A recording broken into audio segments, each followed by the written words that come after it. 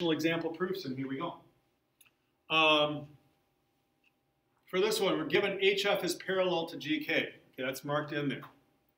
And angle F and angle K are right angles. Okay, that's nice. Prove the triangles are congruent. Hmm. Well, let's go with the first thing we see here. I got parallel lines. And whenever I've got parallel lines, the first thing I look for is a z. So I'm going to draw in my z, which is right there.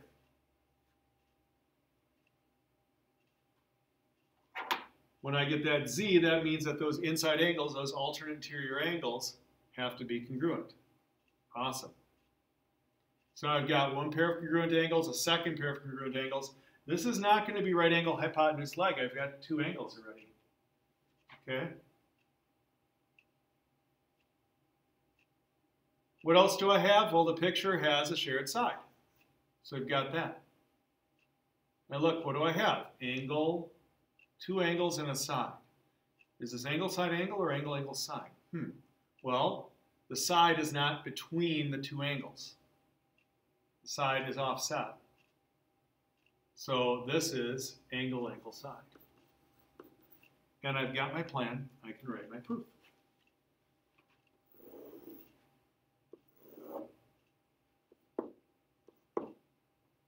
So it's our first given. HF is parallel to GK. Now, someone always asks me, well, what if I want to do the F and K at right angles first as my given? You can. That's absolutely fine. It really doesn't matter. But once we use a given, it's nice to take that given and use it to find some congruent parts before we go to the next given. So let's find our congruent parts with that. We already established what that is. That was angle FHG congruent to angle KGH. And those were alternate interior angles.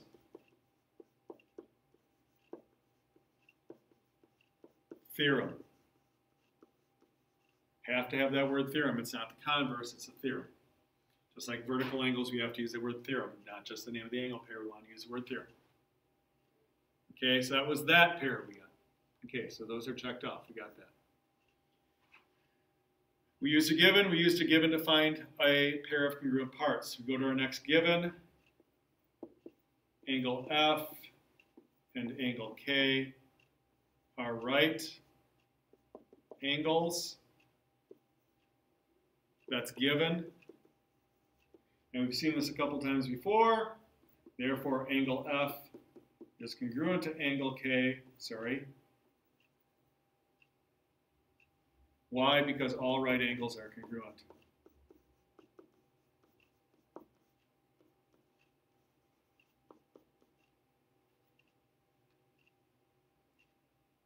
All right, that took care of this. Now what do we have? Oh yeah, we have the reflexive side, so that's easy. HG segment is congruent to itself.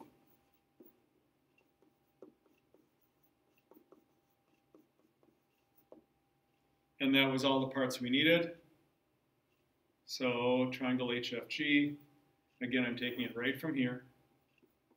Literally, folks, you can't see this, but I am looking up to see what that is so I get the correct corresponding order. And we already decided our shortcut before we began. There we go. So again, we kind of see that pattern of we take a given, we use it to find a pair of congruent parts. We take a given, we use it to find a pair of congruent parts. We take the picture, we use it to find a pair of congruent parts, we're golden. Okay? Uh, here I have two perpendicular lines. We've seen this before, and L is the midpoint of EG. All right. Well, we know the perpendicular line deal. Perpendicular line gives us right angles. Right angles gives us congruent angles. We've seen that a couple times. L is the midpoint of EG. Oh, L is the midpoint of EG. Oh, that means these two pieces have to be congruent. And we have ourselves a shared side. So what shortcut do we have involved here? Oh, it's going to be a side angle side. So again, we set this up. Start with one of our givens. Uh, FL is perpendicular to EG.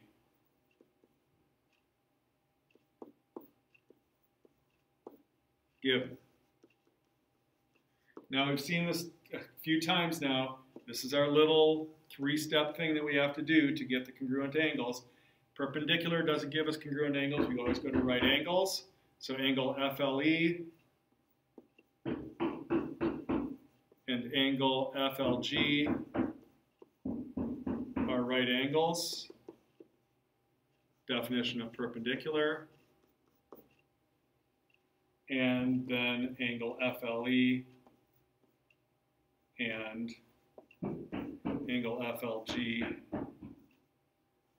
are congruent. I should have just said are congruent to FLG, sorry. Let me rewrite that. Angle FLE is congruent to angle FLG, and all right angles are congruent.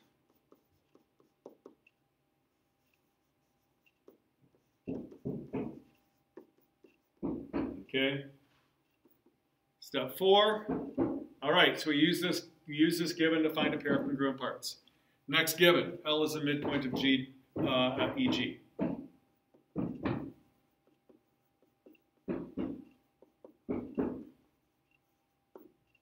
And that's given. And we immediately from that got EL is congruent to LG.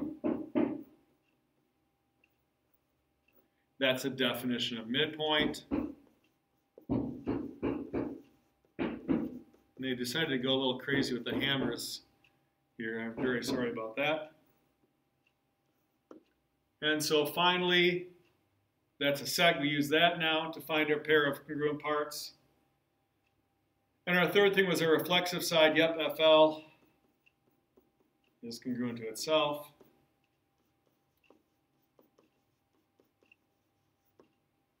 And so we have our triangle congruent statement, triangle GLF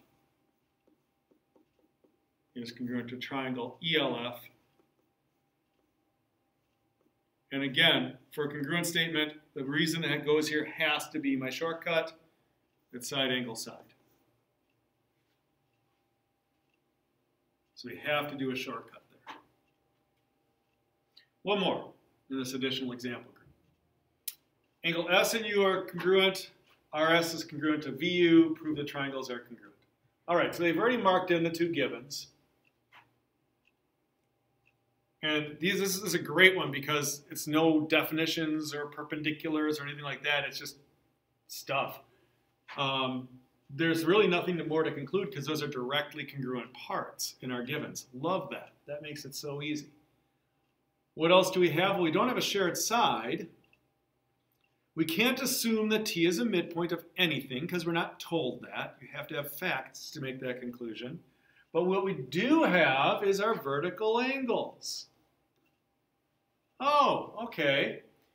Do I have congruent triangles? Sure. What shortcut? Angle, angle, side. Angle, angle, side. So I've got my plan. Step one, angle S congruent to angle U. Given. Step two, we used our, we used our given and it gave us congruent parts. We're good. RS congruent to VU. Given. Again, we used our given. We got some congruent parts directly. No extra work, like free stuff.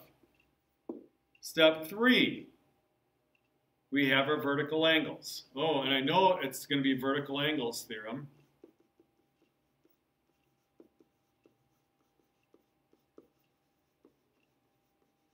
I have to name them correctly. So angle RTS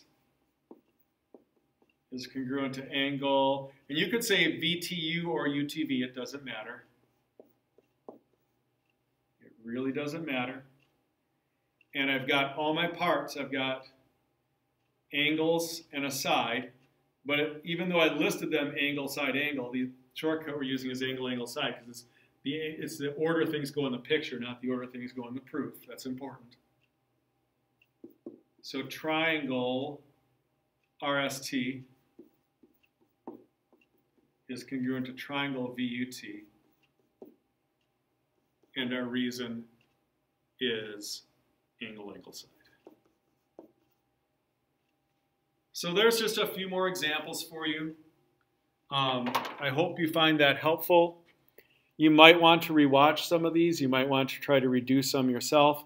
I know that this proof thing takes some practice, but I hope you're finally starting to see, after all these examples, some of the patterns that we use in proofs. Now, we did not cover every possible thing that could come up. There, we didn't talk about angle bisectors. We didn't do any examples that have things like that, but it's going to work the same way. Make your plan, then write your proof. If you don't know every reason exactly, that's okay. All right? Do the best you can. But again, when it comes to these proofs, get as many, get as much as you can and work from there. If you got to guess at a couple things, fine. Because let's face it, in your homework, usually these are drag and drop. So you've got you're not always writing these from scratch, which sure makes life a lot easier. So there we go. There are some more proof examples. Good luck and good night.